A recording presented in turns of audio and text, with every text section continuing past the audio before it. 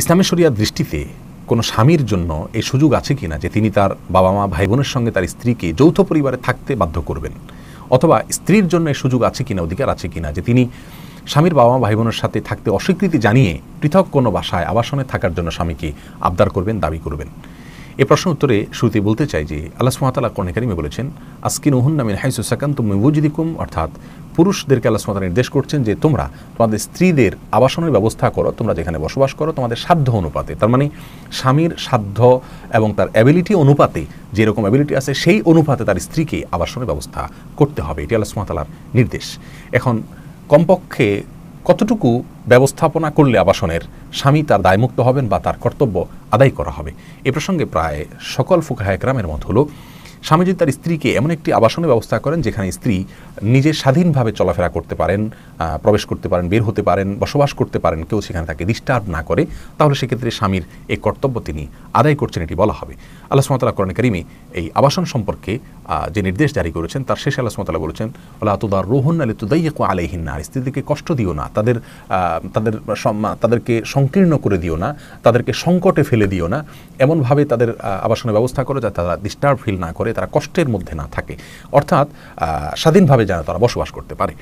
এখন প্রশ্ন হলো, একটি ঘর তাকে দেওয়া যেখানে তিনি বসবাস করতে পারেন সম্পূর্ণ নির্বিঘ্নে, স্বাধীনভাবে কেউ সেখানে তার অনুমতি ছাড়া প্রবেশ করেন না। তিনি বাইরে গেলে সেখানে তালা মেরে দরজা লক করে যেতে পারেন, আসলে আবার মনের মতো স্বাধীনভাবে সেখানে প্রবেশ করতে পারেন, কেউ ডিস্টার্ব করে না। এরকম একটি আবাসন দেওয়া স্বামীর জন্য কর্তব্য। এখন যৌথ পরিবারে এটা কি সম্ভব কিনা? যৌথ পরিবারেই যদি আবাসনটা দেন, এরকম একটি কক্ষ দিয়ে দেন স্ত্রীকে আলাদা, তাহলে সেটা চলবে কিনা? এই প্রশ্ন উত্তরে বলব যে যৌথ পরিবারে এরকম আবাসন যদি দেন স্বামী, তাহলে দুই শর্ত সাপেক্ষে তার আবাসন দেওয়ার কর্তব্য তিনি পালন করেছেন বলা যাবে। শর্ত প্রথম শর্ত হলো যে তাকে স্বাধীনভাবে একটা কক্ষ দিতে হবে, যেটা সবই বললাম, অর্থাৎ তিনি ওই কক্ষে তার তার মতো করে তিনি বসবাস করবেন। কেউ সেখানে ননদ হোক, দেবর হোক, ভাসুর হোক শাশুর শাশুড়ি হোক, কেউ সেখানে তার অনুমতি ছাড়া প্রবেশ করবে না, তার কোনো কিছু হাতাহাতি করবে না এবং ঘাটাঘাটি করবে না, তার কোনো প্রাইভেসি নষ্ট করবে না। তিনি বাইরে গেলে সেখানে দরজা লাগিয়ে যেতে পারেন, কেউ দোষণীয় মনে করবে না। এক কথায়, স্বাধীনভাবে তিনি সেখানে বসবাস করতে পারছেন এই বিষয়টি নিশ্চিত করতে হবে। আর দ্বিতীয় শর্ত হলো, তিনি সেখানে বসবাস করতে গিয়ে পর্দা যেন লঙ্ঘন না হয়, সে বিষয়টি নিশ্চিত করতে হবে। বেশিরভাগ যৌথ পরিবারে দেবর দেওর ভাসুর অনেক ক্ষেত্রে তারা থাকেন একসঙ্গে। যদি এরকম হয় যে দেওর ভাসুর থাকেন অথবা ননদের স্বামী আসা যাওয়া করে, তার বড় ছেলে মেয়ে আসা যাওয়া করে, অথবা এরকম কেউ সেখানে থাকেন যেখানে, যার সঙ্গে ওই মহিলার পর্দার বিষয়টি রয়েছে সেই ক্ষেত্রে যাতে তার যাতায়াতের জায়গায় চলাফেরায় ওই পর্দা লঙ্ঘন না হয়, সে বিষয়টি স্বামীকে নিশ্চিত করতে হবে। তাহলে সেক্ষেত্রে যৌথ পরিবারেও এরকম আবাসনের ব্যবস্থা স্বামী করতে পারেন। এখন কথা হলো যে, যৌথ পরিবারে না থেকে স্ত্রী যদি আলাদা থাকতে চান, সেটা জায়জ আছে কিনা?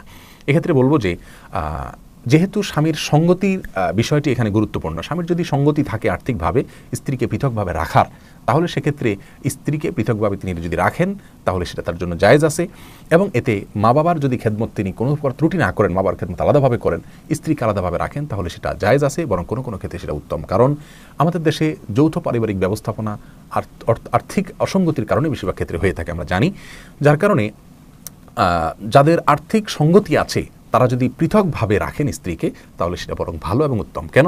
তার কারণ হলো যৌথ পরিবারে যে সমস্যাগুলো হয়, আমরা কে না জানি। নানা রকমের বিপত্তি এবং অসঙ্গতি দেখা দেয়। গিবত শেখায়ত থেকে নিয়ে ঝগড়াঝাটি, মারামারি চকুলখুরি একে অন্যের পেছনে, শত্রুতা করা, এমনকি দাম্পত্য জীবনে বিচ্ছিন্নতা নানা রকমের সমস্যা তৈরি হয়। এই সমস্যাগুলো থেকে উত্তরণের জন্য পৃথক থাকার কোনো বিকল্প নাই। অন্তত ভাই বোন সহকারে বড় পরিবার একত্রে না থেকে আলাদা থাকার কোনো বিকল্প নাই। যদি আর্থিক সঙ্গতি থাকে, আর যদি স্বামীর আর্থিক সঙ্গতি না থাকে, তাহলে স্ত্রীর জন্য জায়েজ নাই।